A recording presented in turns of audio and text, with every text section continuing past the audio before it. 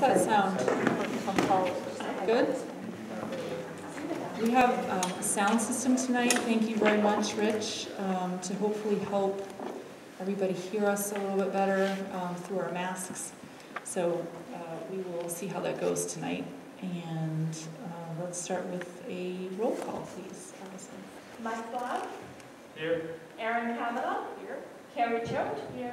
Tom Coons. Here. Shelley Levitt. Here. Let's stand for the pledge. Pledge allegiance to the flag of the United States of America and to the republic for which it stands, one nation, under God, indivisible, with liberty and justice for all. Do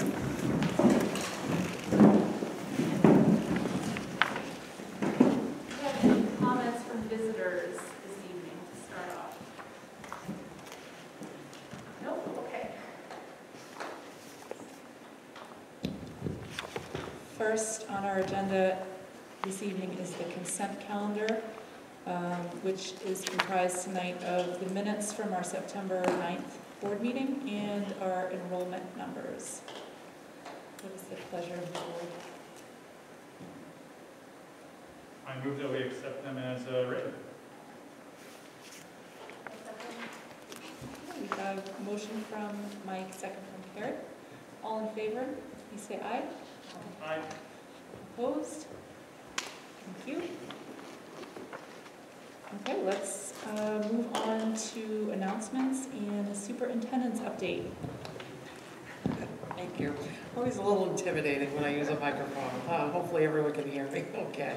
Um, I kind of- I have a couple of updates that I wanted to share tonight. First, I want to officially welcome Shelley uh, Levy to the board. Um, Great to have you here. Um, I know there's always paperwork and everything that you fill in. Hopefully, you- so you've got your iPad, you, hopefully you're all set. But if there's anything you need, um, please, please let us know.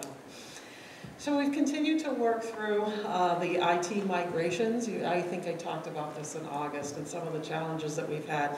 As Rich knows, we keep breathing and we make a little bit of progress and then we take a step back and we make a little more progress. And I think we're, we're getting closer every day. Um, As Allison knows as well, um, you know, the SAU has provided some support uh, to her as we've migrated to PowerSchool. We have a consultant that works with the SAU uh, named Sue Johnson that has come down and, and helped out, uh, just, nothing with IT is simple.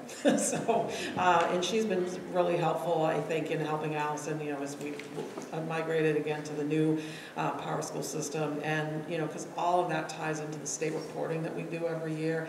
And this is the big week for state reporting. Like, Everything is due, certified, and everything tomorrow. So again, I want to thank Allison for her efforts um, in that work, because it's, it's a lot of, of work. Uh, But anyway, I wanted to mention, I know there's been some challenges with Blackboard Connect, and I know we've set up training for next week that uh, Rich and others will be participating in. So hopefully, people can be a little more patient as we're trying to make sure that everyone's in the right place and they're getting the right calls and, and all of that. So again, thanks to Rich for continuing to problem solve and, and work through all of that. So one of the things, there's a couple things I wanted to mention that are on the agenda, and we'll get into more detail about. Um, We have, I've included a policy on, um, residency, and I was, it, this came up because I've worked through a few issues uh, with residency with Marshwood. And, you know, I said, well, usually what we do, when there's like conflict or, or questions or anything, I go back to look at what the board policy is. Well, there wasn't one.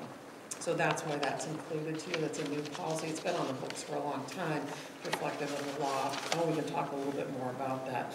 But I think it will help add some clarity in the conversations, particularly when we have students that move to Rollinsford that did not go through RGS. That's where we start to, it, it gets a little challenging sometimes about, you know, what information they need to provide and who verifies all that. So hopefully this language will help help to navigate some of those, those challenges that we've had.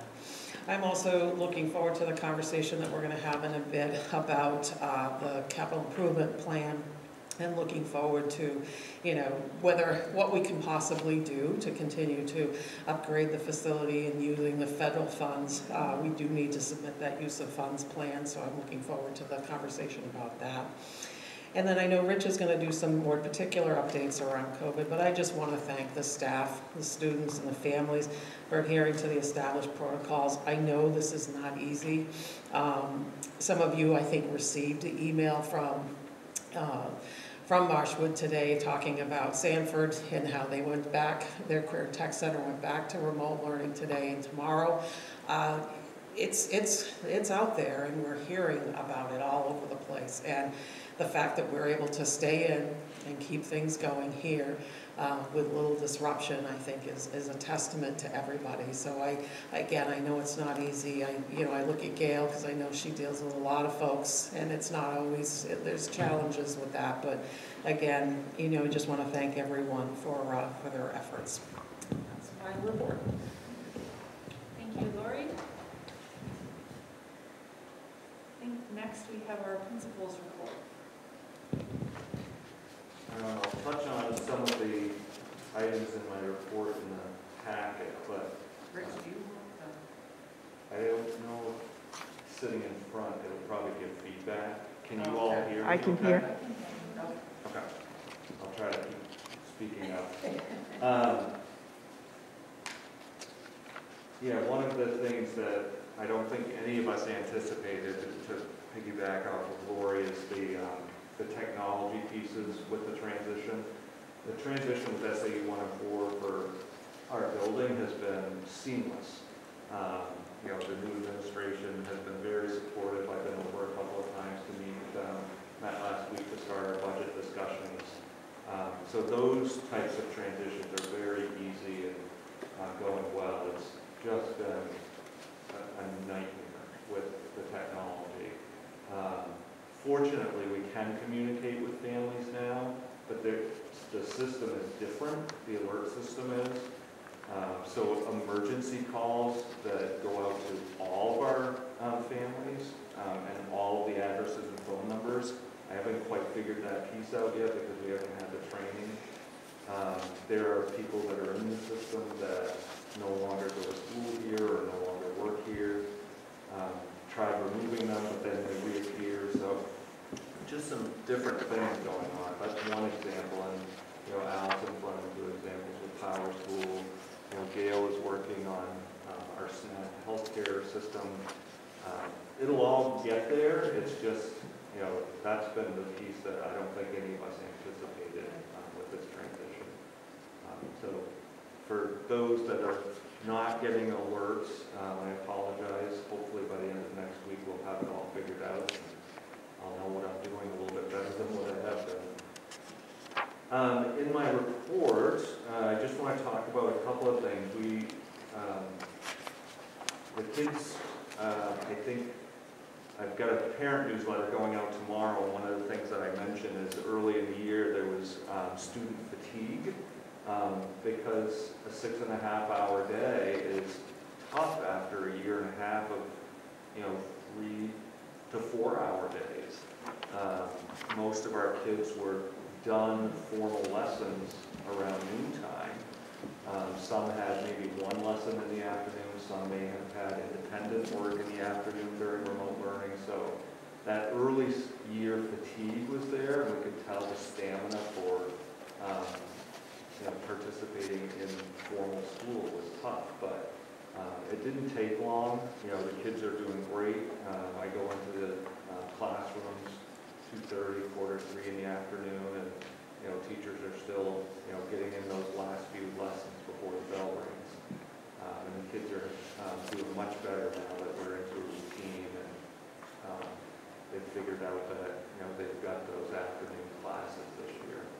Um, Something that we didn't predict, but it was very, um, it- you could tell early in the year that it was tough for kids to sustain that.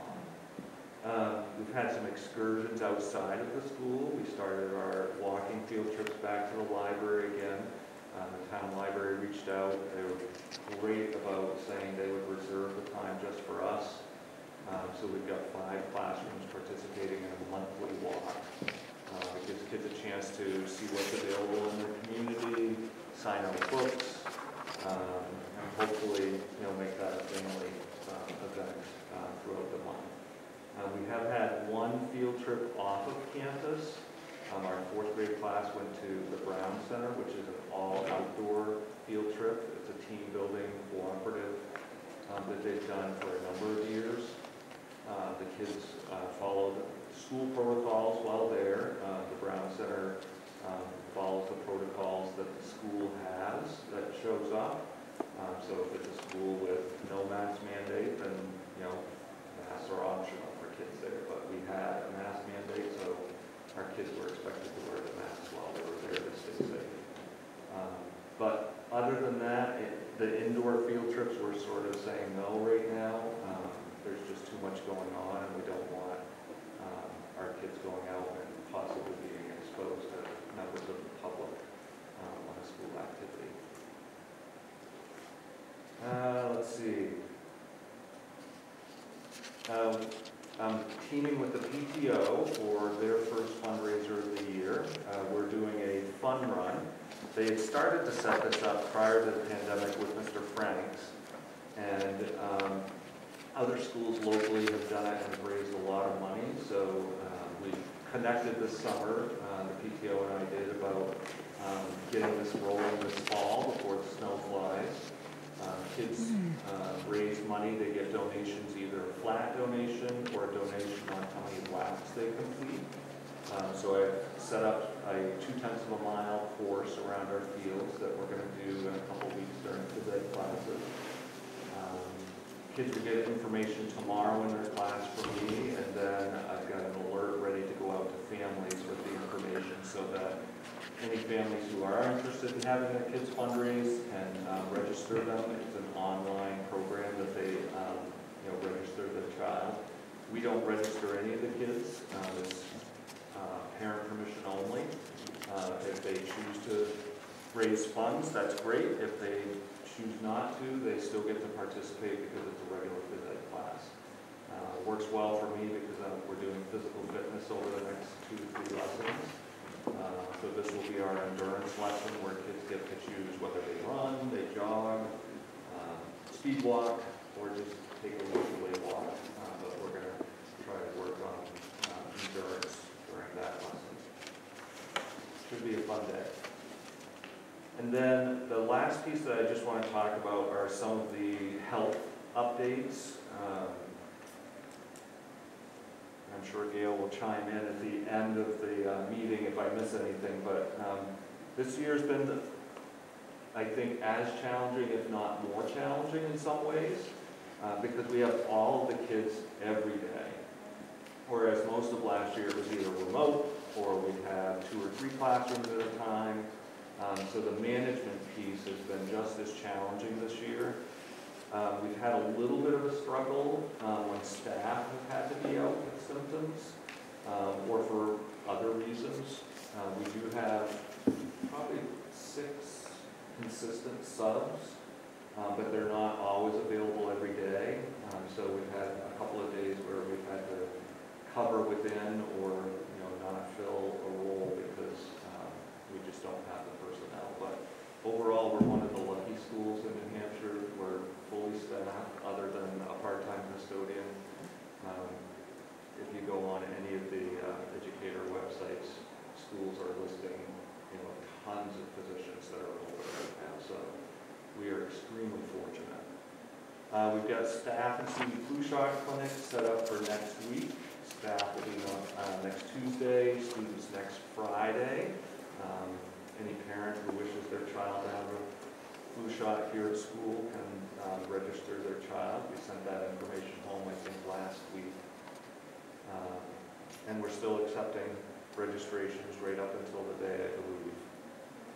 Uh, There's a lot of students and staff with fall cold symptoms, and we knew this was going to happen.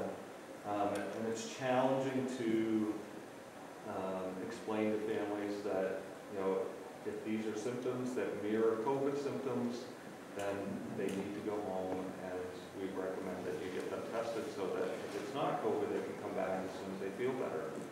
Um, Family's been great, uh, reaching out to Gail, mostly Gail this year. Last year it was a combination of both of us, but um, most people are reaching directly out to her about, you know, questions that they might have. um, What type of test should they get? Where's the best locations to get tests? Um, So for the most part, it's gone very well. It's just keeping up with it. You know, Gail does a nice job of keeping her list of who's out and who's returned negative tests. And um, hopefully that type of situation continues because we've only had uh, two positive cases since the beginning of the year that we're aware of. Um, And then the last thing in the packet that I included was the reopening plan. And I just want to pull up the page. There, we needed to clarify something. Um, On page 14, we had a section called exemption from quarantine. Um, But most of the language in that section dealt with um, travel situations.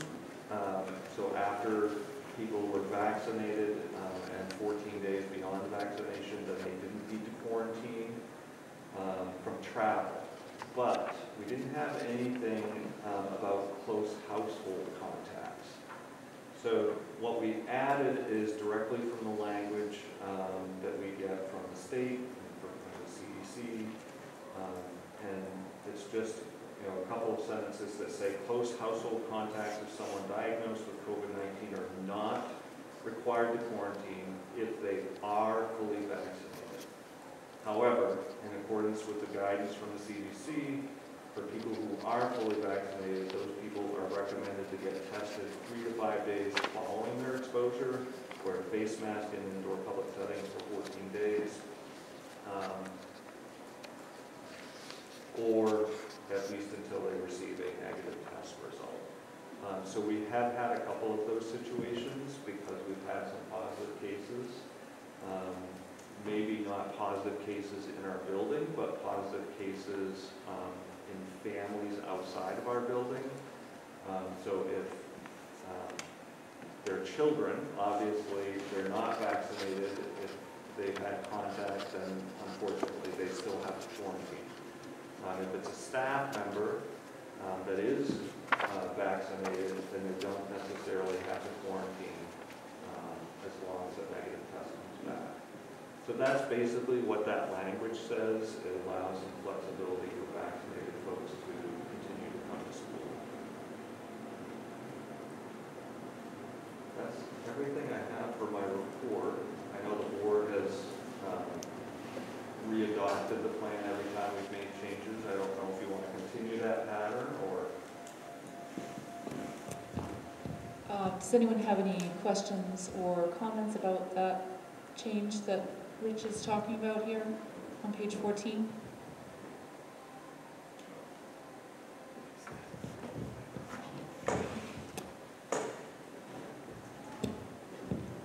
Can you hear me? Oh, this is fun. Uh, yeah, my question, uh, when I look at that paragraph, I think it's good. Uh, just one thing, you know, says, uh, someone diagno- diagnosed with COVID-19 are not required to quarantine if they are fully vaccinated. It doesn't say anything about remaining asymptomatic in that paragraph. So is that just implied, or could we add asymptomatic? Because if they're fully vaccinated and they start to have symptoms, they still need to quarantine. Correct. In a different section of the reopening plan, anyone with symptoms, vaccinated or unvaccinated, is required to stay at home or uh, provide a negative test. So this specific language, I I understand what you're saying, Mike. Um, but There's other language in our reopening plan that addresses that. Okay, I guess, I mean, is it easy enough just to put that in there that says as long as they remain asymptomatic? Because a lot of times what you see is people read the paragraph that they think applies to them, and then they don't, you know, read the rest of the document. True. Uh, I, I don't know. I don't know how everybody else feels, but I think it's as easy as just putting that wording in there. Yeah. That's my my take. I don't like this microphone thing. Yeah, I don't think it would hurt to put that in there and just be a little redundant against other sections, but just like you said, people can get all the information at once. Any, any other questions or comments? I don't love it personally, I know we've been here before, when we discussed it at the beginning, I think that if you're in close contact, especially continuously, because you're living in the same household as someone who has COVID-19, that you should quarantine, but um, I understand that these are the CDC guidelines and that it hasn't caused an issue in the past, and that there could potentially be staffing issues if everybody has to quarantine. But those are just my personal thoughts. Hopefully, everybody can hear me, sorry. Do I, do I permission to speak? Yeah. I can speak at the end? Or I can write him a note? You can, you can speak now. So you don't just do nothing then? If you don't quarantine, you have to self-absorb, uh, self-observe. So you definitely have to check yourself every day, still masking. It's like a light quarantine. So it's not like you just, oh, I don't have to I'm quarantined. You still really have to watch yourself. Thank you. I would imagine, Gail, that people are reaching out to you with these types of questions and you're able to give them. I have That- references, I I email them, right from, from NHD, HHS, what self-observing means to do, what quarantine means to do, travel guidance, when people are traveling. This is what you need to do. Yeah, always emailing them. I mean, it does sound like the community has been really great about this, so I They have been appreciate phenomenal. that Absolutely so fine. much. It's, it's fatiguing beyond what we ever expected. Really good. Thank you for that clarification. Um, I had one other question, Rich, for you on the very beginning of the reopening plan under phase four, so that's page three. It's still talking about remote instruction and remote learning. And I thought we had agreed to strike that.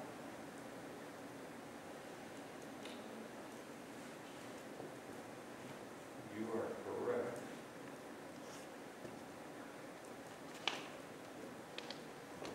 I will strike that. So it's just a side note. um, But I think we can vote now to accept the amended plan unless there are any further questions or discussion. You want me to reread that phrase that Mike recommended? Sure. So it's the initial sentence in that blue section. um, Not required to quarantine if they are fully vaccinated as long as they remain asymptomatic.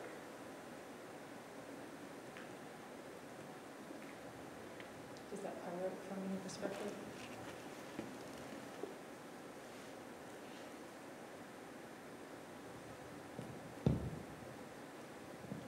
Yeah, I motion that we accept the, the plan with the uh, changes.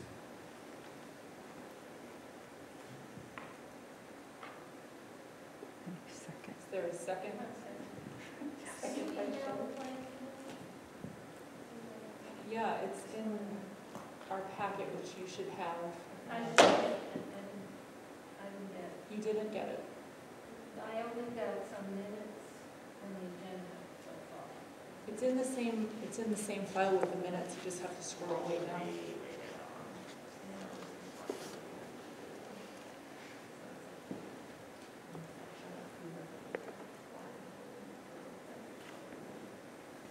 So we have a motion and a second. Is there any further discussion? Okay, all in favor? Aye. All opposed? Thank you. Thank you, Rich, for your report, and it's great to hear that things are going well. I understand it's extremely challenging, do. and we definitely appreciate all your hard work, and Gail, your hard work, just on ongoing basis. Um, I really hope that, you know, as they're promising that tests will be more readily available and hopefully vaccines for younger kids come along. Hopefully that will um, make some of that a little bit easier. Um, And at the same time, it's great to hear that the kids are doing these outdoor field trips and, you know, getting back into their routines and their activities and enjoying it. It's just, just fantastic to hear. So thank you very much.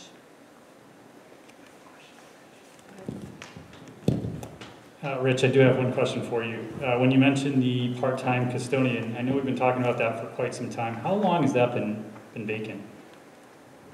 Since it was placed in the budget a year and a half ago, So we, we've never filled it since it's been placed in there? we've had a couple of applicants um, that just weren't right for the position, um, and it's been consistently advertised the entire time, and still we haven't been able to find anybody. We're similar to a lot of other businesses in that respect. It's a part-time position, no benefits, so it's gonna be tough to fill. Is it, does it affect the operation of the school at all, or do you see a a down, downside to it right now? The focus we've had on school days is cleaning, you know, making sure that it's a clean building for the next morning.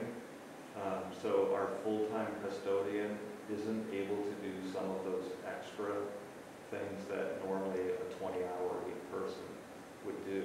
In addition, our facilities director does all of the lawn care, all of the outside stuff, which is part of his responsibility, but at certain times of year, when it's prevalent, it chews up a lot of his time where he could be working on other types of projects. So it would be great to have the twenty hour, it would take the pressure off the two of them, and, you know, some of the little things that, you know, get put off for a little while and start getting done, but, you know, the important stuff is getting done. Okay, thank you. Um, Is there anything that we as a board can do to help you out, or just keep reposting it and see how it goes? If you know a hard worker who's interested in 20 hours a week that would work well at RGS, would love to be, have them send them my way. Thanks, Rich. Have we advertised it on any of the sort of non-educational job boards The SAU that might be, advertises, sure. because I haven't seen it. um, At Jobs in SchoolSpring, that's where we usually advertise everything. I mean, we could try putting it in Yep. Foster's maybe? Yeah, I, I wouldn't say Foster's, um, but maybe Indeed or, um, Monster. Yeah, not for, not for usually, but, yeah. We could- I know we need a, you know, we need a specific type of person to be able to work in the school, so it makes sense to advertise on the school boards, but, um, if you're not having any luck sometimes by widening the, the reach a little bit, you might we can definitely do that. reach some other people, um, you know, who are looking for some part-time hours.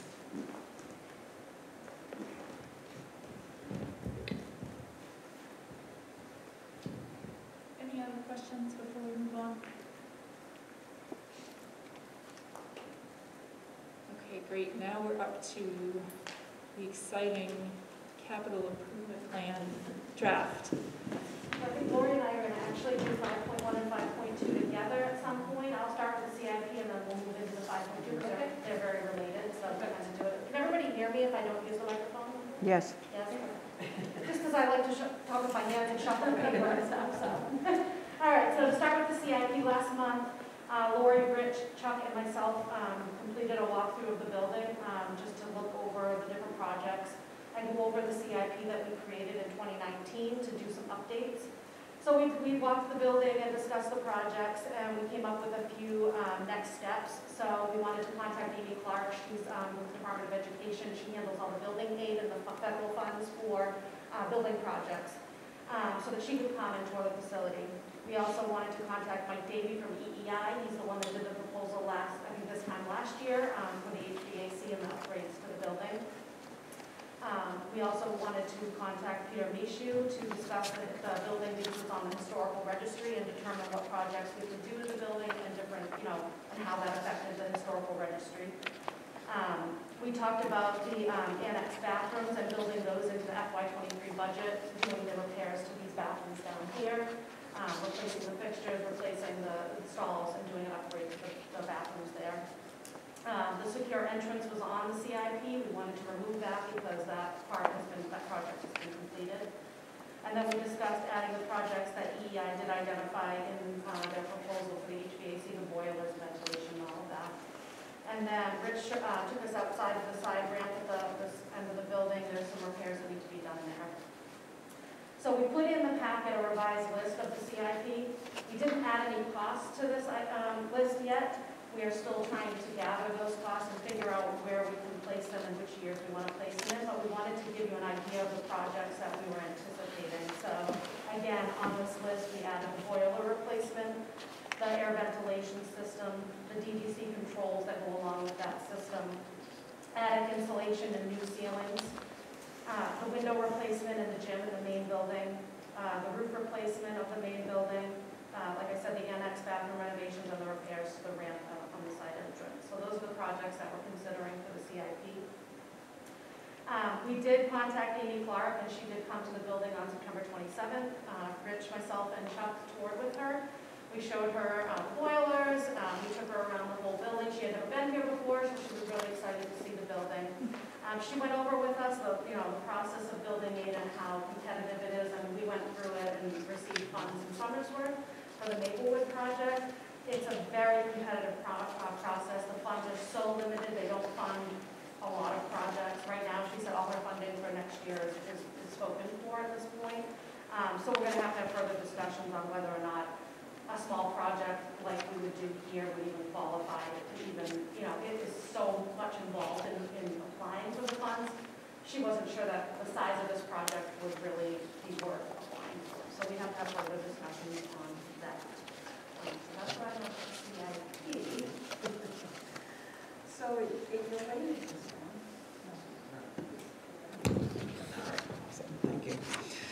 So related to that, you know, some of the things that you've talked about in the past as a board are related to the CIP items, but also how do you utilize federal funds? Uh, As you know, uh, we, and we talked about this last time, Katie provided you a list, kind of an update on, you know, here's what you've received so far for, you know, the CARES Act, ESSER two, ESSER three. Um, So we wanted to put that in, you know, put that in front of you again and say, are there some things in, on the CIP that might qualify for ESSER funds that might help you to be able to fund some of these projects? But that's not your only funding source. There are other options, whether that's, um, you know, warrant articles, that's building it into your budget. There are, you have a, a capital reserve account. There are other grant opportunities. We've, we've received a couple over the, the last uh, week or so that could possibly help, um, you know, with, with moving some things forward. So Rich, when, when Rich and Katie and I met to talk about the budget, we brainstormed, looked at the CIP list, and then looked at ESSER funds and some of the other opportunities, and that's what I put in the the memo that I prepared for you. And again, as I put on here, this is really a discussion, uh, you know, it's a place to start the discussion. It's, it's not, this is what we're saying you should do, this is not, you know, it's nothing more than that. So I don't want people to understand, like, this is, this is what we're doing. I will say to you, though, that I did receive a notice from the Department of Ed saying you have not submitted your ESSER plan, uh, your ESSER three use of funds plan. And we were gonna talk about, we talked about it briefly at your last meeting, but I do need to put in something. Um, That's a requirement to be able to utilize the funds, and it's a requirement that the state have all districts submit these plans. So I, I'm going to need to move this forward um, sooner than later. So in the memo that I prepared for you, you know, as we've talked about before, but just as a recap, um, your ESSER three funding is um, just under $157,000. Um, Those funds can be used for a number of different things. Um, There's a twenty percent set aside for um, the academic impact of lost instructional time. And you have used, um, you know, those funds for, you know, literacy support, you know, you can use summer school, there's a lot of different things that you can use those for, among many other things. And then you also can use them for the, what we, the first bullet there, the continuous uh, and safe operation of in-person learning. So that's where we start talking about ventilation. It's not gonna pay for your boilers, but it could pay, for it certainly would help pay for your, the ventilation that you've talked about last year. However, you don't have enough. Unfortunately, as Katie said, we were really hoping that, um, that the building aid opportunity would be able to fill in some of the gap. And as she described, it is a competitive process. There's a, there's a rating scale of projects. Um, unfortunately, we had some things happen in Somersworth that day, so I was not able to come down and join uh, the conversation that day. But um, having gone through the process before, it is, there's a lot to it. And again, that's our job, and we will certainly support going forward with, with an application, but just know that there's, it, it may not come to fruition. So we just wanted to be upfront about that. So when Rich and Katie and I met, we started looking like how could we at least start the conversation to move things forward. So if you look at the second page of the memo that I prepared for you, we present two options, uh, three options, I should say. And again, nothing here is, is set in stone. There's nothing here, again, just for discussion purposes. So the first option that we, that we thought, okay, looking at that list of CIP items, that you could use ESSER funds, capital reserve, you know, possibly a warrant um, article and or putting monies aside in your, in your budget to, to replace the, the entire project that you talked with EEI about last year. Um, and again, you would have to bid that out. There's an RFP process. It's not just I call up Mike Davey and say, hey, we're ready. It's, it, there's a, a whole list of things that you need to do to be, uh, to prepare for that, and that takes months. So we are gonna be looking sooner than later if you wanna move something forward, um, to be able to, um, have the go-ahead so we can get the, the work done that needs to be done, um, in preparation for the votes that will be coming up. Um, again, it's not gonna pay for everything that you need to do. Um, but you also can use the funds to support the learning loss pieces, and, and again, we've talked about some of that before. Option two is uh, kind of taking things in a little bit different direction. In, in our conversations, what, even though we know ventilation is a, is a concern, one of the other concerns that rises right up to the top of the list is the boiler plant. And I know that's something that, that you all have talked about before, concern about the age and you know, we, we, it's one of those things that it's great while it's working, and when it's not, then then it doesn't. And the, as you know, as things get older, like a car, you know, the parts get harder to replace, it's harder to find them, and you know, it may last for another five years, 10 years, or five days. You just don't know, and I, you know, I don't try to be alarmist, but you just don't know, especially as things get older. So one thing we thought about was, well, you have a sizable amount in your capital reserve account that perhaps maybe that's a project that, that you, you could consider moving forward with. Um, you know, again, that's, again, Katie can talk about some of the detail around moving that forward as a warrant article to secure some of those funds. And then again, you could continue with the learning loss pieces again, knowing you have to have that 20% set aside in, um, in ESSER but you can use more than 20%. So when you see the, in, you know, 2B, when I have ESSER 3, it's, you know, just under $71,000, that's, that's fine. You can use those ESSER funds for what you do, you know, what your need is. You don't just have to use the 20%. And then the other option, we said, well, maybe we, it's not the time to do any kind of capital improvements, and maybe you want to put um, those uh, resources into well, learning loss type activities. And that could be a number of different things. So again, just a place to kind of start the conversation, um, you know, around using the ESSER funds in some form or fashion, um, and also to try to navigate through some possible movement on, on you know, capital improvement projects. So hopefully this helps and it, and it makes some sense. It took us a long time to talk it through. It, it's hard when you try to combine a lot of things sometimes and, and try to sort it through, but hopefully this, it helps, so, do you want to add anything else, or? No, we just talked earlier about maybe at your next meeting in November, as we start our budget discussions, that maybe we can start trying to figure out if there's an option that we want to go with, um, because like Lori said, it is a process to get some of these things in line, to get the RFPs out and get the quotes, if you wanted to move forward with some of these projects. So I think probably by your November meeting, we should go in some sort of direction, whatever that may be. It could be one of these, or it could be something completely different, because we did talk, maybe it's a combination of a few things, you know? Could It be. could be anything, but this was just a place to start. Wow.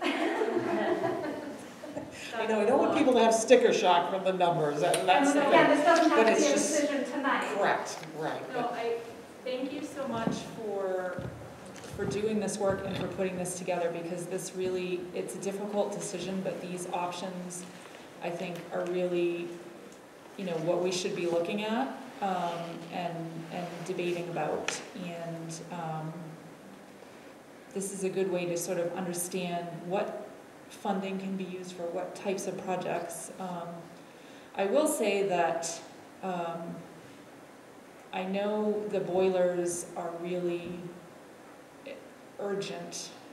Um, They've, they've come to their end of life um, years ago. I know um, Dick helped us limp along with them for several years.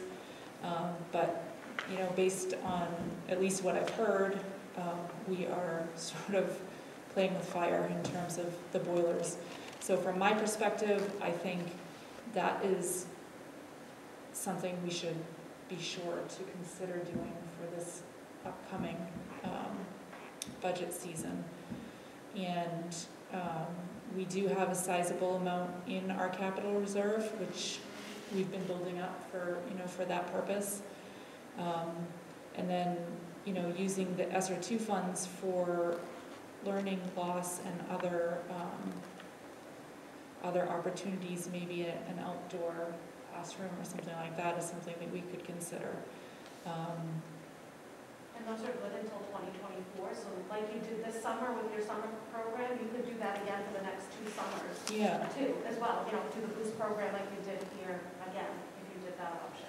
One thing too, when you mentioned the capital reserve fund too, if you remember correctly, it was either our deliberative session or public hearing, I can't remember which, a, a, a community member got up and asked the question of why we have so much money in there, why do we keep putting money in there, what are we using it for? So it might be a good year to consider using it, where people are wondering what, we- what we're planning for, you yeah, know? for sure. Um, And then, you know, the, the elephant in the room is the, the ventilation system, which is just so much money, and we've gone back and forth several times on that. Um, So, tho- those are my thoughts. What, I, I know we don't need, need to necessarily make a decision tonight. Um, I think it's a good idea to discuss it at our, at our budget meeting next month, but what, what comments or questions do you guys have? Um, Was there any discussion about solar application in the boiler?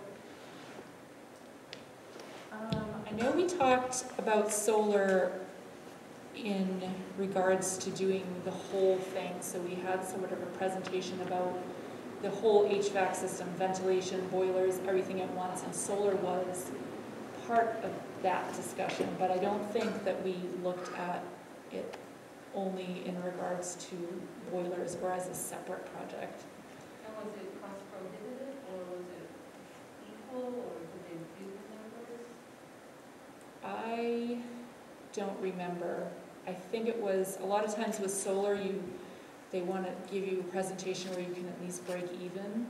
And I think we weren't quite breaking even with it. Um, But I, I may not be remembering that correctly. I'd have to go back and look at it.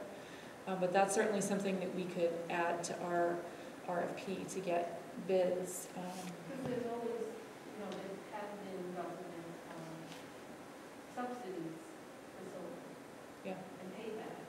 Right, To encourage, you know, residents to do it. I would think they want school to do it. yeah, I mean, we can, we can definitely look into that.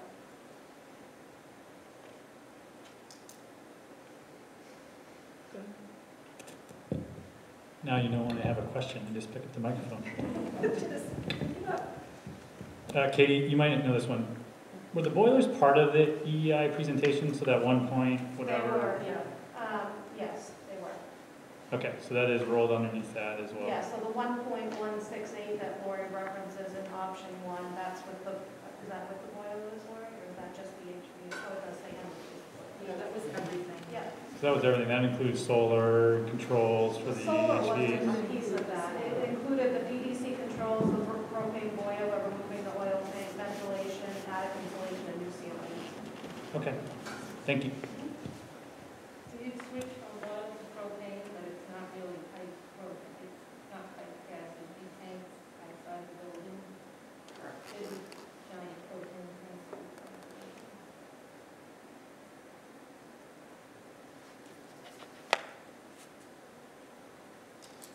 I, do have a question for either Katie or Lori. Um, So if we did move forward with, say, just option one, just hypothetically speaking, and we went through the- all the, the process of, you know, putting it on the warrant, and, you know, we get a, a loan that covers ten years or whatever, you know, so it's split up. And then we do submit an application to the state, is there, could that act retroactively? Or does that have to be done before we put the warrant out there? Start the project, once the project started, you can't get building aid back for it. So if, if, I know that we ran into that in Somersworth, we had to wait to start the Maplewood project until we knew for sure we were getting building aid, otherwise you wouldn't get it because you've already started the project. So I don't know if that answered your question, I mean, there's no money for next year for building aid, so you'd be looking at waiting at least the next round when they do the budget again, and there's no guarantee that money will be placed into the budget for building aid. Yeah, so if next year's money is already It is already. spoken for, so Yeah. we'd have to, the following fiscal year, we'd need money. But ESSER funds go through there, so we- we'd still be covered with the ESSER funds. So when, So when, January 1st of this year is you have to put an intent in if you're applying for building aid. Then July 1st, I believe, is your application is due for the following year. got it. So it would be next year's budget season that we'd work on that, if, if we were to elect to go that route. Yes, like I said, you you wouldn't be able to start any of the project because then you can't get the building if you've already started. Okay, thank you. So, so in a bigger district like Somersworth, do you put in, um, you know, requests every January first for building? No. This was the first time we have done it since, when- well, Heidelberg was the last time we got it. Um, So, yes, no, we don't. No, but do you think there's schools or districts that always put it in in the hopes of getting it and then they'll get lucky? Or, because it doesn't sound like there's a lot of money available. There's not a lot of money available. Well, there's also, there's also a lot of need, to be quite honest with you. I mean, there's a lot of aging schools. The building aid had a, what, 10 or 12-year moratorium, so they didn't fund any projects. The state didn't for a long time. And so now they're playing catch-up. Um, I- You know, the concern, even though, you know, a million, two million dollars looks like a lot of money, it, it is, but it also, in the scheme of the projects that they're looking at, like, again, the one that we did in, in um, Somersworth, it's about a four million dollar project, and we had to, I don't wanna say just add things to, you know, to complete, but we needed to have a, a substantial project. I'm not sure, and again, I don't know if Amy spoke any differently about uh, whether this would be substantial enough to, you know, to make, you know, the, the cut in the, because there's this whole rating system that you have to go through, so. um, And one thing she described to us when she was here, so say there were five projects that got funded in the current year, and three of the projects went forward with their warrant articles and they got approved, but the other two failed for whatever reason. She said those may, might get carried over into the next budget cycle, so you're already got two projects already in there for the next time somebody else applies. So you may, even if we apply, there could be other projects already ahead of us because their warrant articles failed and then they get pushed into. So they don't distribute the money that the towns were rejected. No, They, they hold that money and take it to next year yes, and maybe give it to that town or not. right. And then it's a waiting system, like Lori said, once all the projects are in, you get placed on a waiting system and they, they might only take two projects. If one project is for the whole amount that's in the budget for building aid, then that's the only project that's gonna get funded that year. So it does sound like if you, if you submit something every year, you might get lucky. I would encourage everyone to play Keno, because that's how they're funding building aid right now. So just a little plug for Keno. Uh, But yeah, I mean, we can certainly put, we could put in our intent, I think, for January first, so that at least the intent is in there, and then if we don't decide not to put the full application in in July, then we could, I think, do that. you, you certainly could. I, I will say, though, we, we would definitely want to look for a commit, because I think you would need, I don't know if she talked about, you know, the, the, the support from the town Yeah. coming and the war, you know, the Yeah. commitment, so that if you, if you received the funding, and it's one of the challenges with this process is trying to align town voting processes with the state's approval. A lot of times, they're happening at the same time. And it's, and it's a challenge for communities that, uh, that, that know that they need to have the vote to be able to move things forward. I dealt with that in my prior school district, and, and and it's, it's very, very challenging. Um, I So- think that helps us on the Somersworth side too, because it's a city form of government versus a town, so that it was able to move through that process much much faster. quicker. So, so I'm not, I don't want to discourage you from, from considering building aid, but I just want, we just wanted to be realistic, that it may not be the, the, the, the thing we were hoping that might be able to put the funding forward. So that's where we thought, well, as we talked it through, looking again at option two, boilers are really the concern, if we can move that piece forward, and that takes away from the buildup of funds that you have in the capital reserve, but maybe that's the place to start for now, rebuild that capital reserve. Um, But I don't know, I mean, it's just, it's, it's tough, because it's just, there's just not enough money in any one place to, to make this happen. We did though, as Mark Lori mentioned, receive two Mhm. grant opportunities this week too. There was a seed grant, I think it was up to eighty thousand, you have to do a twenty percent match. We could apply for that. I'm getting clarification on the timeline though, because I think it- the project would have to be completed by the end of this year is what it looked like to me, but it may be something we could apply. I don't know if they do it every year.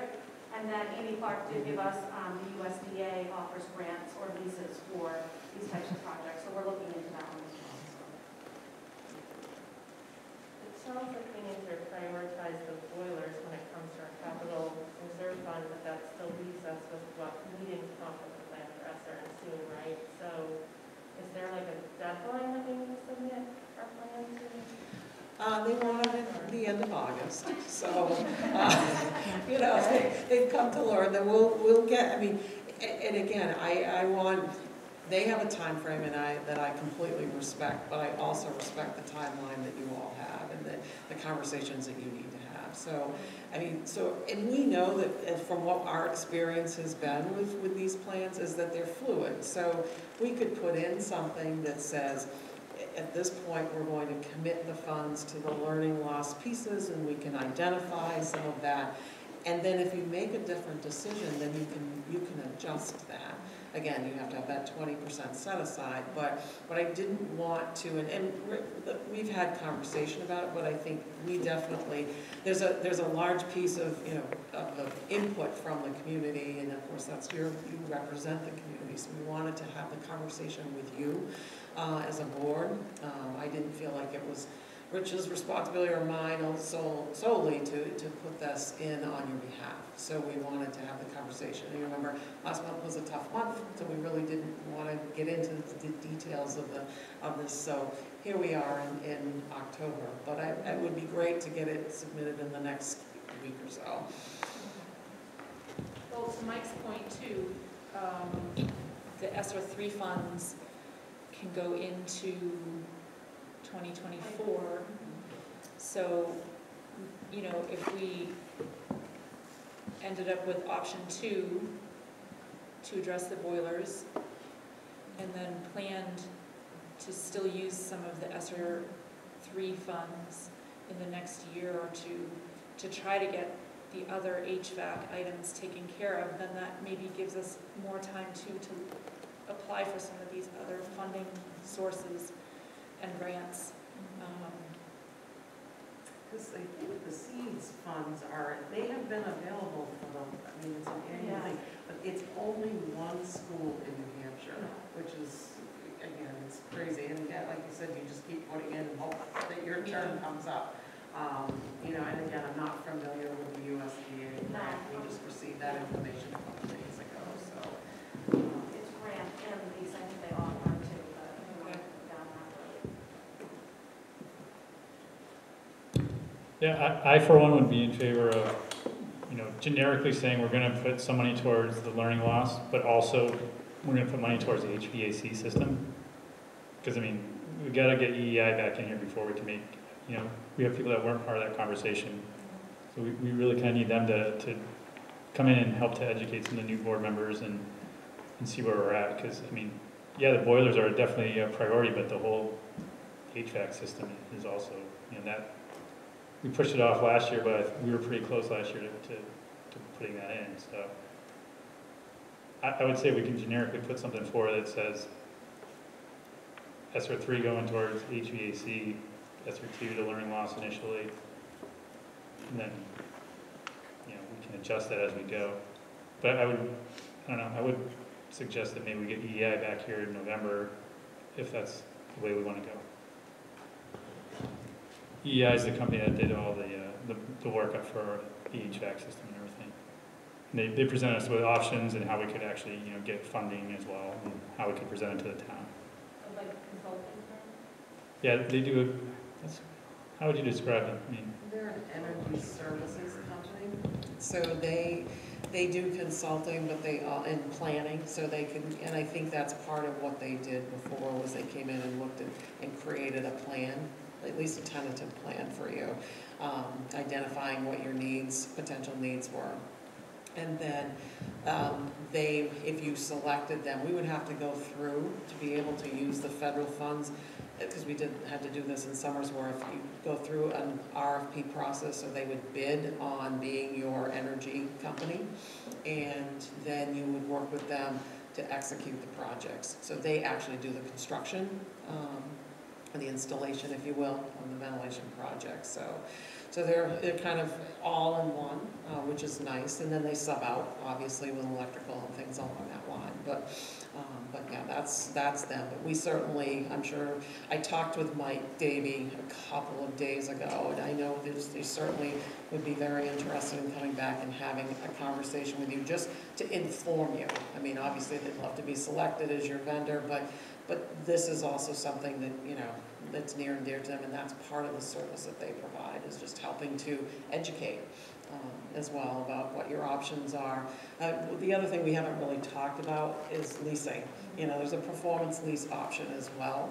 Um, And so that might be something that you would explore as well, to lease part of this. And you- know, if you look at the quote that, that Mike gave you last year, there's potential savings. And so they look at, that's what performance contracting is, they look at, if your performance is stronger, it's gonna reduce your energy costs. And that the idea is, depending on the type of project that you have, that you come almost not cost neutral. We had one of those projects, was that at Maplewood, I think?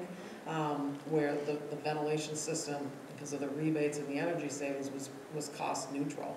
So, you know, Katie took all those expenses from the energy line and put them over to the lease. So it, it, it's, it's, it can be an option, but then you're committed to, like, you know, I think that term is fifteen years. So that comes with decisions that have to be made as well, so. So there's all sorts of options. I mean, the, the nice, the, the best option would be free money that you can just, you know, pay for all these things and then you, then you can go and you don't have those longer term commitments. But that, but the performance leasing is also another option. And Mike could just kind of lay out all of that for you if that's what you wanted to. And you we have to given do. you options too, like year one, you could do just this amount. Yeah. Year two, Mhm. you could do this piece project, if we didn't want to do it all in one year as well. Yeah, and ours unfortunately didn't have that cost neutral No. um, bottom line because our, we've already made so many um, upgrades to efficiency and things, so unfortunately it wasn't, there was some savings on energy, but it wasn't canceling anything out by any means, so. No, there were some rebates too that we get from like Eversource or Yeah. utility, the utility companies that we rebates. And is their fee included in the total? It is. fee? requirement for the federal funds, we would have to, you know, and it's such a large dollar amount. Yeah, we need to do that. Anything else? So we kind of table this until next month. We need something sent out. We need to send something out in the next couple weeks, right? I would like to be able to submit to the state the use of farm. And so if, if you're fine with me, and I can get, I can work with Rich and Katie around adding more, sorry, forgot. Adding more detail as far as, we gotta work on our, on our game here, Aaron.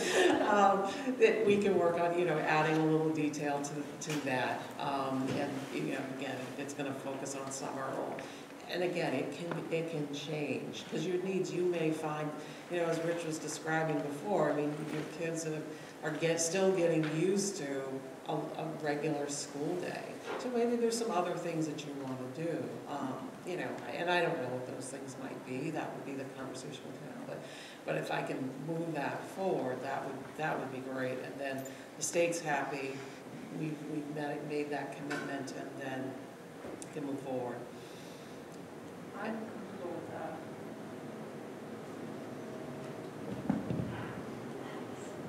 All right, so we'll work together, and again, I'll, I'll provide you a copy of the plan in your next packet, um, so you can see it, but it will be focused on the learning loss pieces, and we can certainly add, you know, our intent is to utilize these funds for the safe operation of schools and looking at an HVAC project, and again, doesn't commit you to anything, at least says this is on our radar, if that's okay. And then if you, if you would like, I can certainly ask Mike Davy if, to come back and ask him to present to you again, you know, just a little bit more about kind of a general overview of performance contracting and, and some pieces that he's seen in the building. Um, and then you can, you have a little more information about, um, about where things are at. Because even though I don't think the scope of what you have here has changed, but he can talk to you about changes that, uh, that COVID has, you know, availability of equipment and when a project could happen and, you know, just some of the cost increases that you would- might incur. So it's, you know, I think it might, it would be helpful to give, you know, to help you uh, with that He also works closely with Amy Clark too from the state, so he might have more insight on other projects that are in the building aid queue as well, so he might be able to give us more information on that as well. Yeah, I think that would be very helpful to have him come back, um, you know, as, to help all of us, especially some of our newer members who didn't see the original presentation and um, help us kind of get our heads around um, the scope, like you said. And thank you, Katie and Lori, for putting this together. I know this is uh, a huge amount of work and really very helpful um, for us trying to make these types of decisions. I know, they're not easy. No. They're not easy.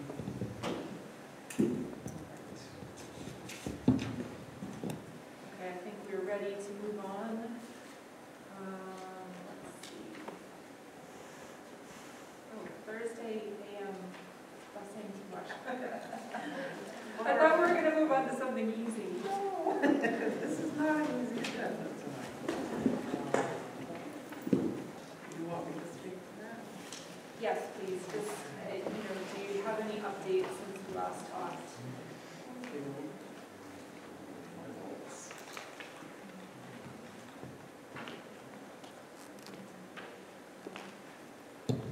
Again, Katie and I will probably tag team this one as well. We, we work closely together. Um, So I know, and again, you know I don't have all the history with, with this. Um, So I've been playing catch-up as, uh, as I've I've become, you know, superintendent of the- of the district. And so, and Aaron, you and I have had a conversation about, you know, is there still an option? So what we're talking about is the, the late start Thursdays for Marshwood Middle School and High School. And there's, there was a busing contract that, uh, or a busing RFP that went out last spring. Um, Cost came in much higher than what was anticipated because of the way that it was quoted. And you'll stop me, correct me if I get this wrong. So there was some reworking of that to change it from one tier or one run with five buses that, that did the- all the runs every day to two tiers, which is two runs with three buses.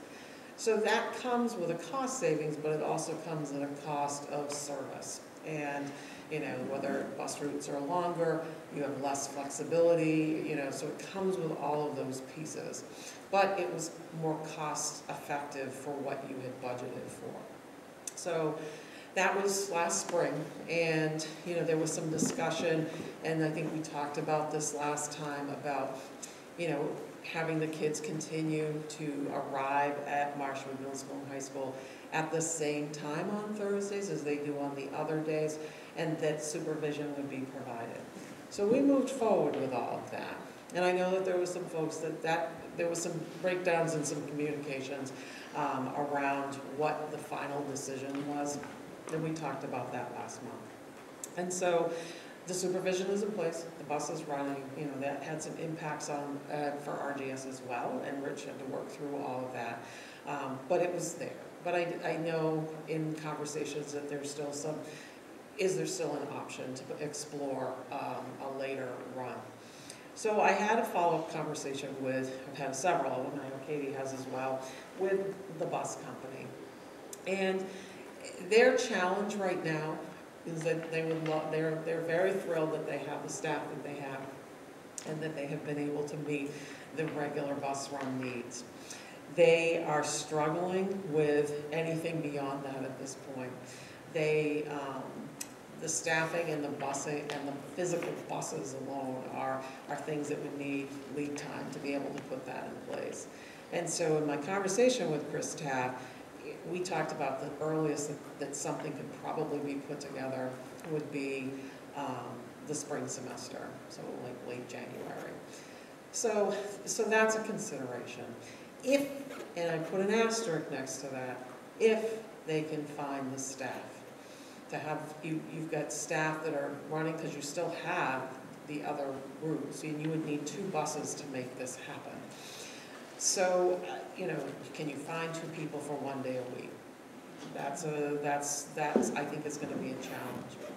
So it would be your- at your rate, per, your daily rate, which is, you know, four hundred and twenty dollars a day per bus.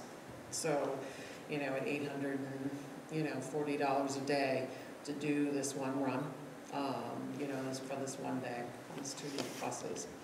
So, you know, it totals out to about, for one Thursday, I've estimated it at eighteen Thursdays, around fifteen thousand dollars.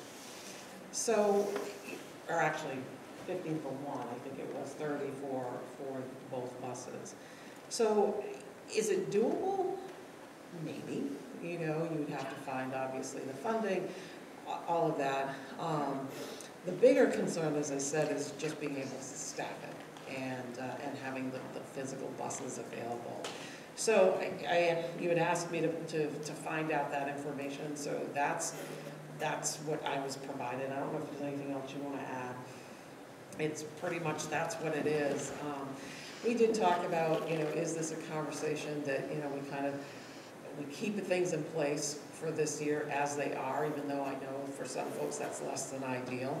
Um, And then look to re, You reopen the negotiation or you do an addendum to the contract um, and plan for it for next year. So that, you know, first student can figure out how to staff it and having the busing available that's needed.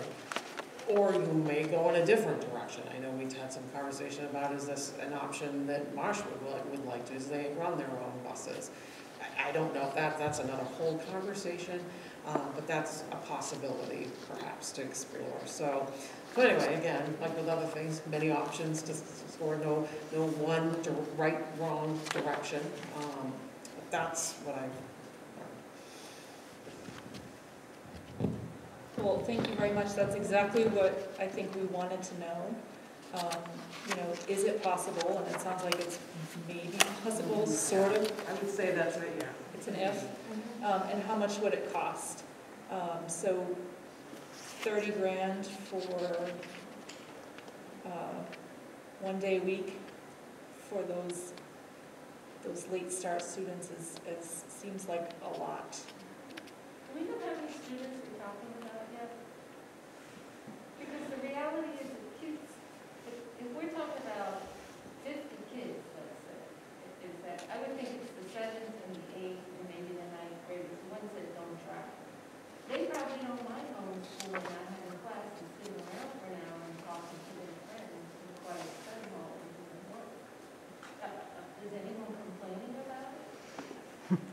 Um, I don't think we've had any complaints. Kids don't care about that. We, And then the older kids are driving.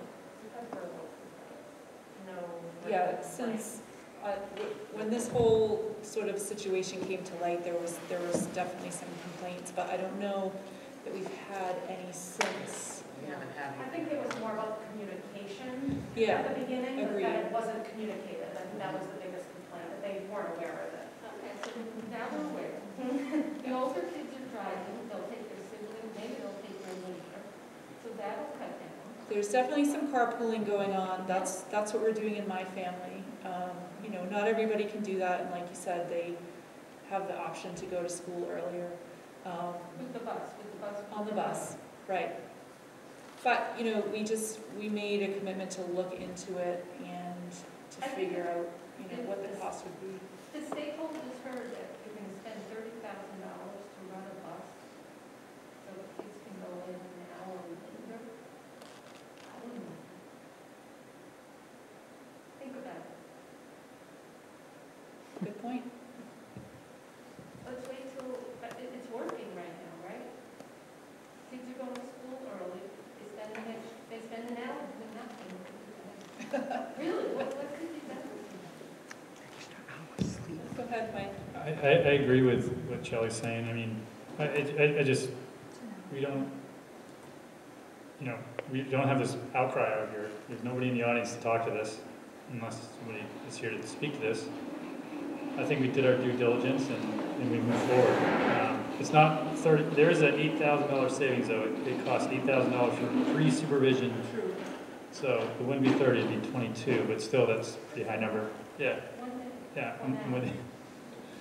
And one thing just to note on that supervision, we did commit to that with Marshwood, and one of their things was if they were, if you- they were gonna do it for you, then we had to commit to it for the year because they had to hire staff in order to do that. So that's gonna be a commitment, whether or not you switch to the bus or not, we're gonna have to commit to that for this year. So you're gonna have that cost on top of the thirty, just to make you aware of that. Okay. Thank you. So it's not a savings. I just, I don't, I don't see the, I don't see the public outcry. I mean, I'm I'm not hearing anything. Yeah, unless you just decided to change it for next year, then you could stop the Marshwood supervision and build it into your budget. I haven't seen anything in my SAU 104 email. I mean, we haven't seen anything. So I would, for one, would be, say we looked at it and unless it comes back up, I'm good moving on. Carrie, did you have something? Yeah, I just wanted to clarify, I'm sorry. So if, it sounds like we won't, but if we did add an extra two buses, would they be running the morning runs? Because could attend that study hall and be supervised if that's what their parents wanted? And then running the later bus? So parents are going to have to shift gears again and make sure that their younger, the older students are supervised if they're not comfortable leaving them at home. Okay. And then also, this is something that we could look at again later in the year? I know we talked about adjusting the end of the RGS um, school day um, because this is also impacting the RGS students. It's not something we've heard complaints about, but there are RGS students that are staying there later because their bus, um, because the buses have to come later due to the sharing of Marshwood. And I, I'm just wondering if that's a bigger conversation that we have with another understanding are sitting in the gym at the moment. Yeah, I think that's, I think that would be uh, a negotiations uh, discussion. And, and first student is open to that conversation, you know, to having a conversation about, you know, how, how we can best navigate this. Because they know there was some confusion, I think, last spring. Um, and we just, and they wanted, they want to be good partners and good neighbors, you know, in this process. So they're certainly open. Sometimes with groups, you're locked in and there's really not a lot of flexibility, but, you know, that, that's not been the case with, with our student at all. I actually meant for if we were to change the length of the school day. Oh, oh, okay. Is that, Sorry. is that a negotiations whole issue. contract. Yeah, I think it, We, we did talk about that briefly, um, Yeah. so we could talk about that during non-public Yeah. afterwards. Yeah. but I think that's where that, co- that conversation has to come in with, Right. um, I just wondering if that was something that maybe we'd be readdressing, because it had come up a couple times previously. definitely, yep. It feels all connected. Mhm. Yeah, good point. Shelley? So have there been complaints, Mr. Hartford, about kids remaining here ten minutes in the gym? Um, the biggest complaint is when the buses are running late, and it's not really a complaint. We get phone calls with- from concerned parents Right. wondering where their kids are.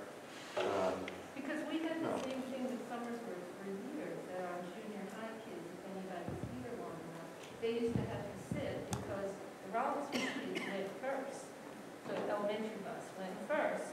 And so the seventh, eighth, the seventh and eighth graders would, again, sit in the cab or whatever for fifteen minutes and then, I- I- we're a small district, we have to be flexible.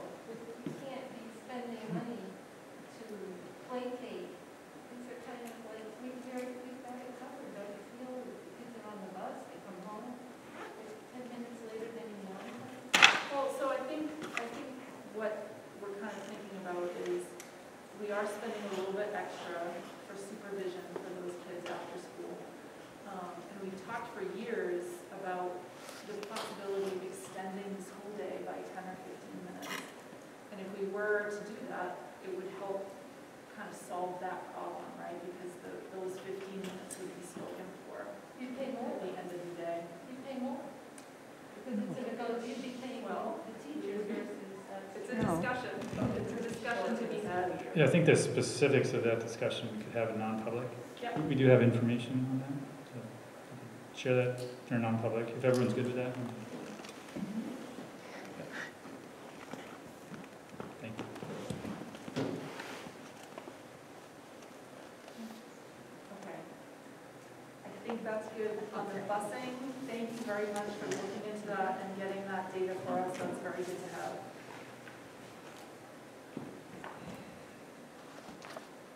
Okay, our next item.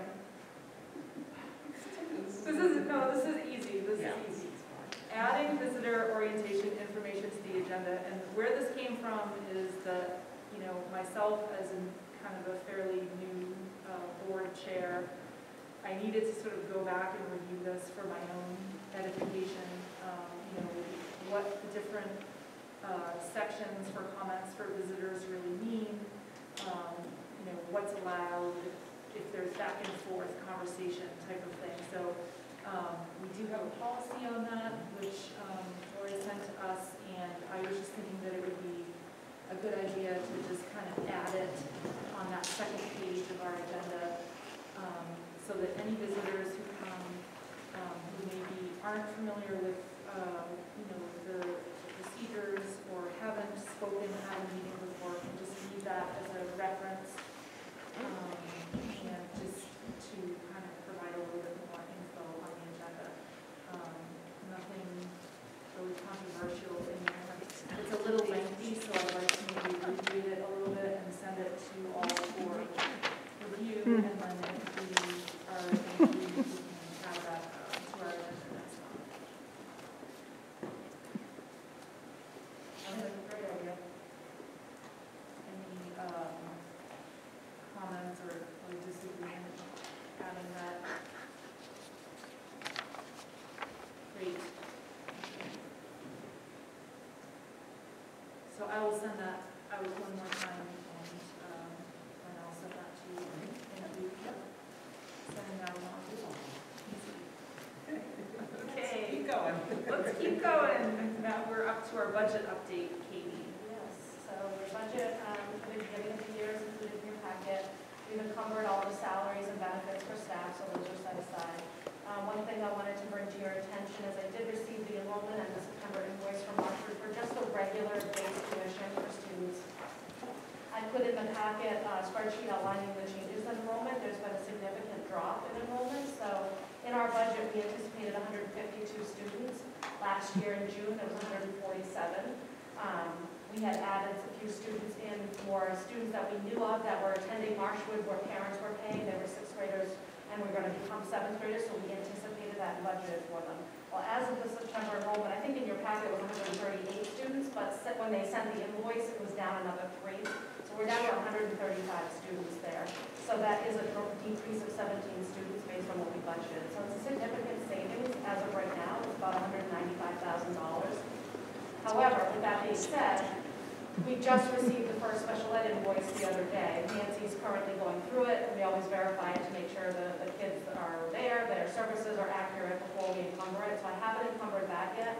Once we encumber that, we'll know exactly what the savings is, because it- I know that there were a couple of students that we had, um, new, new special ed students. Um, Some had, you know, higher needs than others, so once we encumber that, we'll know for sure the, the savings, but that is a significant savings.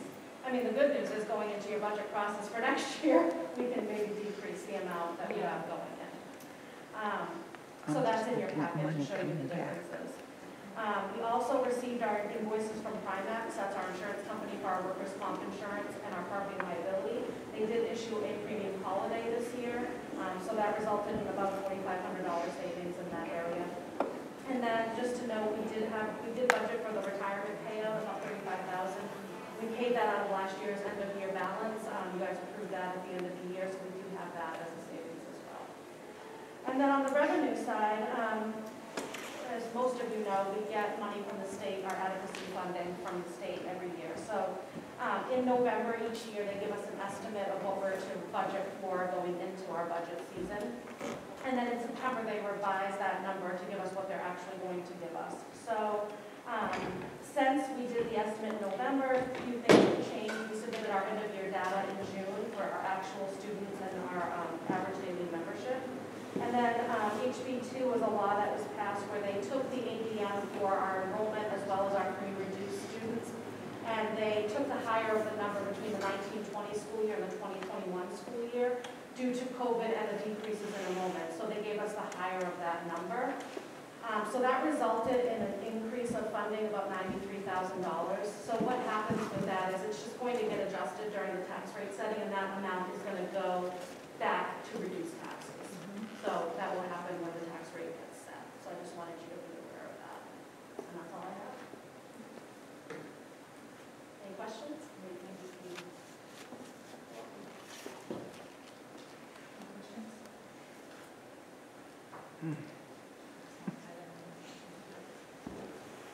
And that'll get adjusted as the year goes on. So it's super early in the year, so some things may not come to so.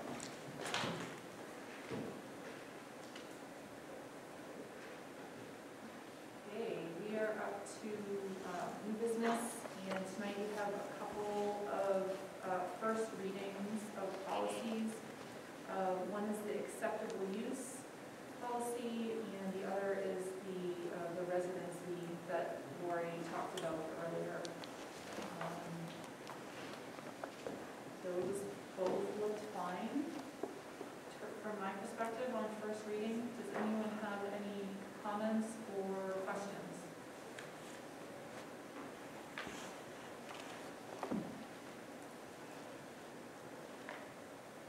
No?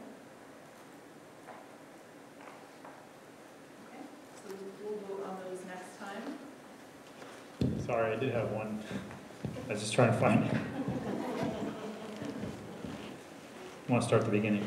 Shouldn't have given me a microphone. Uh, No, I think it's just a typo or, yeah, so under the resident, admission of resident students, the second paragraph, it says a legal resident of a student.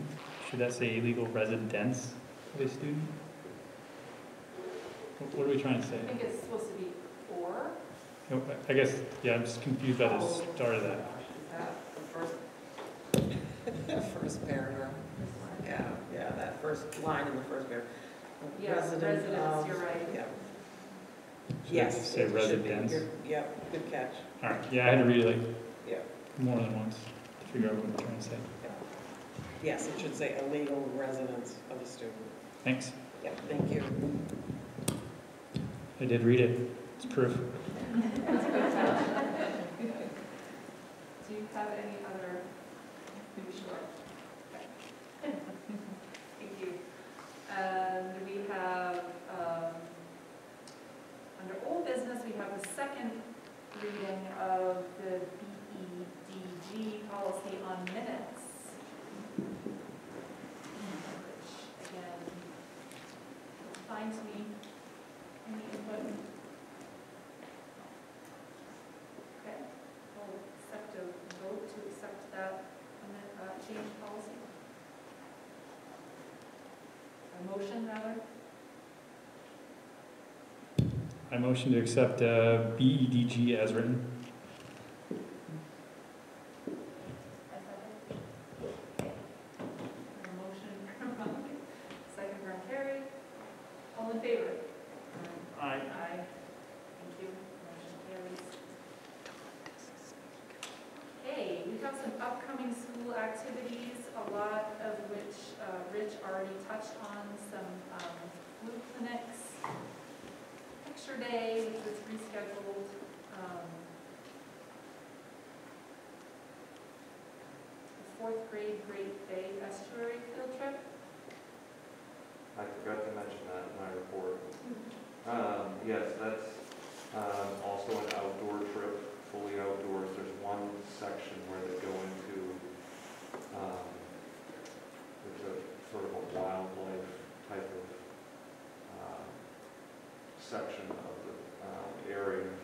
Um, but they've secured that facility for themselves during the time that they are there. There might be other groups on the property, but Oh, um. Again, similar to the uh, Brown Center trip. So it would be a nice little inquiry type of field trip for them. And I see Thanksgiving listed on here, it's way too early to be talking about. Um, our future meeting dates are here on the agenda, and I would just note that for the next two months, we are meeting starting at five thirty, um, in order to talk about the budget planning. Um, So we'll meet at five thirty for budget, and then have our regular meeting at six thirty, um, and that's for both November and December. Um, And I should have the budget, um, I'll email you all to let you know when your budget binders prior to that meeting, so you'll have. Great, thank you, Do you have any closing comments from visitors tonight? Yes? Uh, To piggyback on the field trips, um, Five Six has been going to the river, as you know, to the Salmon Falls River. And um, Lindsay Lancer takes a course every other year with Fish and Game. And Fish and Game provides waders and nets and tubs. And the kids go in the river, in the waders, and collect samples. And if you go on the Fish and Game's website and look up Rollinsford, the data for the Salmons Falls River has been collected by Rollinsford students. Oh. So it goes by year, so ours this year isn't currently in there yet, but from years past is in there. And again, every kid went in the river. And no one flooded waders. Lindsay said she has never had anyone flood waders. So yeah, it's really, really cool because they count macroinvertebrates that they scoop up in the nets. And um, two years ago when I did it with her, two of the girls identified an invasive species plant. And when the um, woman from Fish and Game came, she verified that. Wow. So um, it was the milfoil that's been around, but um, they were able to identify it, and the kids just love it. And we incorporate Rollinsford history in it with the mills, and you know why our community is built on a river, and you know stuff. But the kids really love it. We do math. We, the um, Fish and Game provide us with meters to read. So, uh, we don't do salinity. To do um, turbidity, temperature, um, pH. There's several things that they measure. And the kids take measurements and then they learn how to use the meters and that's really cool. It's a really nice trip. We went, we went down several times. So, Yeah, that's fantastic. My daughter, as you know, was involved and had so much fun. She learned so much and was excited to come home and tell us about it and tell us everything she had learned. And of course, you know, wearing the waders and using the equipment was really Well. I have to say, this year was better than the previous year that I did it with them, because that year they, there was only men small. So some of the kids that were rather small to put on men's small, they were like, where this year there were some kid sizes, there was like a more of a spread of sizes, so it wasn't quite so funny. But it's, it's really, I mean, they had to count the macroinvertebrate, and then we came back, they identify it, count it, and then we came back and determined that um, the Salmon Falls River is healthy. Um, Of course, we can only do the edge, you know, we can't go into the middle of the river and do testing. But for the edge, it's, it's healthy, it's not terrible, Good to know. so, yeah. Excellent, Thank you, Lori. Any, any other comments tonight? Yes. Celia Leopold, I have a couple of questions. One, does the outdoor, um, are there any outdoor items on the CIP to include the pavilion slash outdoor classroom that's been talked about in the past? Or the playground that is now, like the slide is sun bleached in the tunnel and it's getting brittle, so, and the kids are out there a lot, just worry about breakage of that. So I'm wondering if, um, any of those outdoor projects can go onto the CIP um, plan as well as indoor ones, or if they're not already on there. I'm wondering if um, any of the COVID funds could be put towards testing or providing materials for the school nurse to test to prevent learning loss. Because if she can do a test here at school, if a kid has COVID symptoms, is that feasible? Is it not feasible for our school district? Is it, should we be testing? I know some places test regularly to make sure COVID doesn't come through the door. Is that something that we could use some of the COVID funds for? And since we're in a substantial or high area right now, what is the threshold for going hybrid or remote learning? Those are a lot of questions, thank you.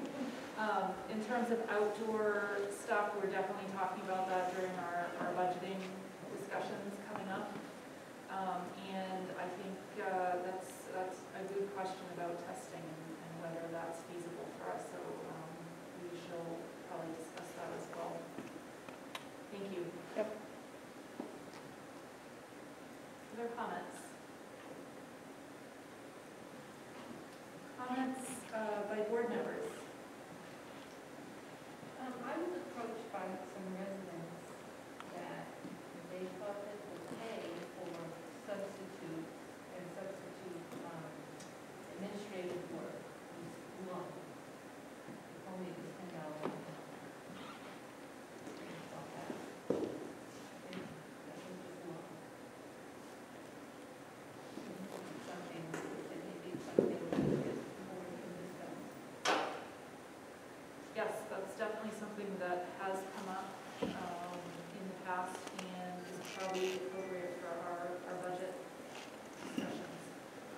Um, I think there is, well, I don't know that we need to get into it now, but. Yeah. um, They asked me for your. Yep, we will definitely add that to our budget list.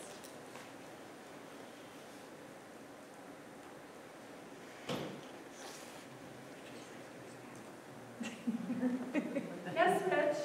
I'm not a board member, but um, in relation to what Shelley mentioned, there, I believe there's a policy in regards to substitute pay, so you may want to, if you're going to review that, um, make sure that if there's dollar amounts in the policy, that you bring that forward on your future agendas. Yes, thank you.